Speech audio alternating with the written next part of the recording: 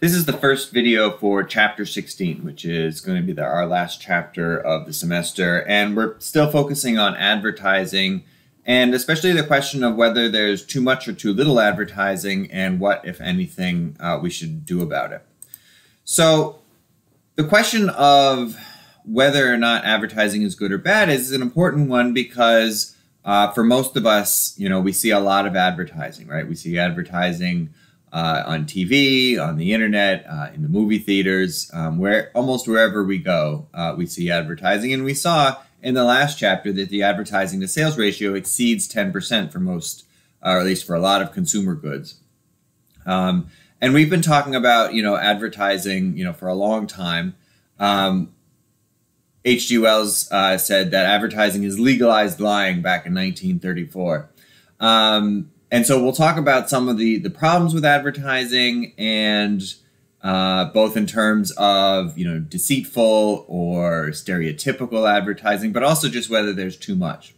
Um, and on the other hand, right, we want to think about okay, well, if there's if most advertising is informative, then that's probably a good thing. Um, and so we want to think about you know the positives of advertising along with the negatives. So if we think about advertising, um, going back to you know 1914 and the Federal Trade Commission Act, um, we've had you know sort of three conditions that the FTC says have to be met for an ad uh, to be considered false or deceptive, which uh, is illegal according to that act. So. Uh, first, the ad must either present or omit information that is likely to mislead consumers. So they have to either be saying something um, that is misleading or leaving out information um, that could then end up being misleading. Second, the ad must be viewed as deceptive from the viewpoint of a reasonable consumer. So, um, or the targeted group. And so this is important for advertising, you know, that targets children. Um, so the idea is, you know, if you show a car flying, um, which I have seen, I think it was a Hyundai commercial, uh, a reasonable commercial, uh, a reasonable consumer will know that that's uh, not true. But if you show a toy flying to children that doesn't actually fly, um, then that might be deceptive because the children might actually believe that it does fly. Um, and then the third condition that must be met for an ad to be false or deceptive is materiality. And so uh, this means that it must be um, important enough to have caused consumers to make a different choice. So, like if if you show this toy flying and it doesn't fly, but it didn't lead to any more people, you know, buying it, then uh, it fails the materiality act. But if it does lead to a lot more people buying that toy, then um, then that condition is met.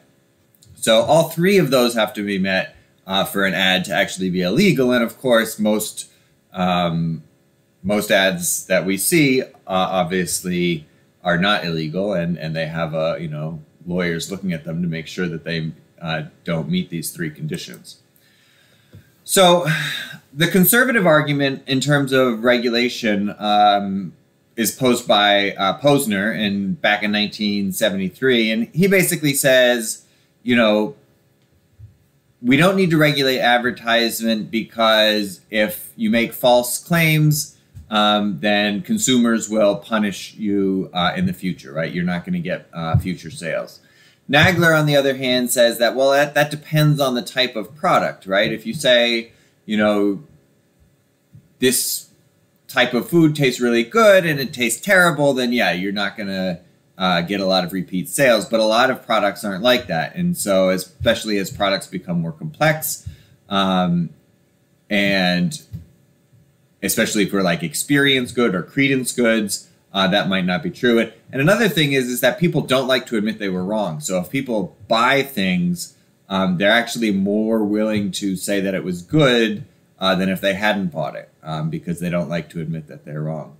Um, another couple factors that sort of influence firms' incentive to engage in false or, or deceptive advertising. One is that if they're going out of business, um, they might be more willing to do that because they have less to lose, right? So, I mean, what's the worst that happens? They're going out of business anyway. Um, and then obviously we said with credence goods or experience goods, you, you won't be able to tell false claims uh, as easily. And so um, firms might be more willing to, to make those false claims. Um, we also want to think about sort of social boundaries. Um, sort of a lot of advertisement these days um, is all about, you know, um, providing good looking people having a great time. Um, the, the book talks about, you know, the fact it wasn't really until 1911 that we had a uh, sort of the first uh, sex appeal ad for Woodbury soap. Um, also, we have problems in ads with stereotypes. Um, I think people are much more sensitive to that these days than they used to be. Um, and so if you, there are commercials that come out that promote sexism, racism, or ageism, uh, people are more likely to get, firms are more likely to get called on it than they used to be.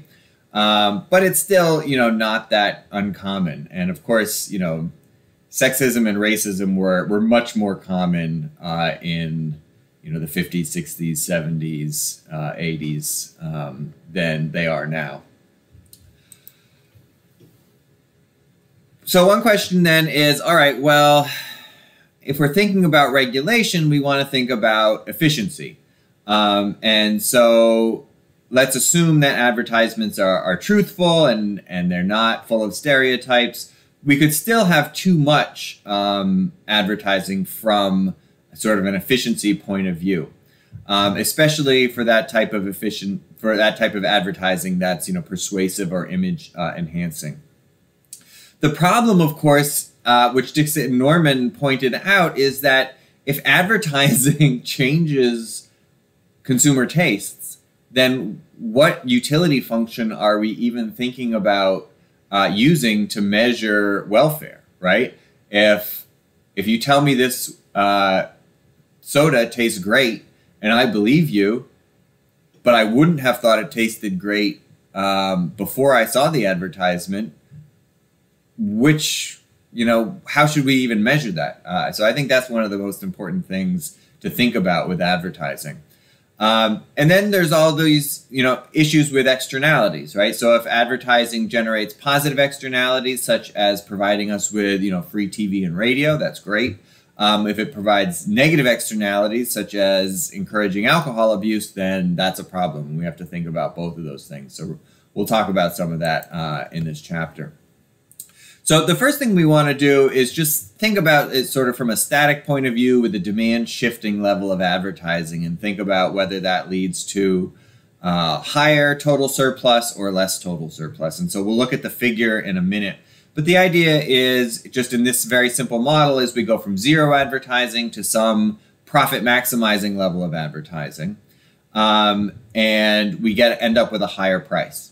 Now the interesting thing is that when we shift the demand curve from D0 to D1, we actually end up with more consumer surplus, right? This, um, I don't even know what shape that is, but whatever that shape is, A is new surplus, right? And so the consumer loses surplus C, but they still have surplus B. Um, and so we have to figure out, all right, well, do we have more surplus or less surplus? Um, the idea is that in terms of producer surplus, the change in producer surplus or profit uh, associated with a small change in advertising equals zero. So we want to focus on the change in consumer surplus. So we get A, we lose C, right? That becomes producer surplus, but they also have to pay for the the advertising, and um, and then we get F. Um, and so the question then is all right well is that more or less? And, and it really depends on on the shape. And so that this f is is up here this little tiny triangle. Um, and that really depends on the relative size of a c and f. But for the most part um, it will it'll be positive as long as c is not too large relative to a and f.